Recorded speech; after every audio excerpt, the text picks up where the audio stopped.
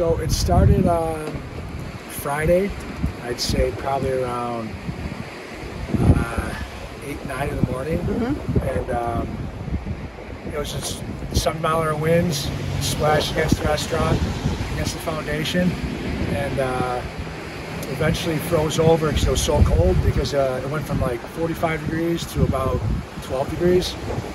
And um, as you can see, it actually protected the restaurant by it dropping so low in temperature because it acted as a barrier and protected uh, the, re- the restaurant and foundation.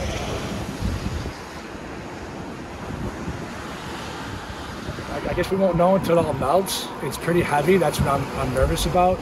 But um, nothing broke. No windows broke. No leaks. And um, yeah, we just got new floor put in, and none of that was touched. So right now we're good. The only problem was is the uh, parking lot got beat up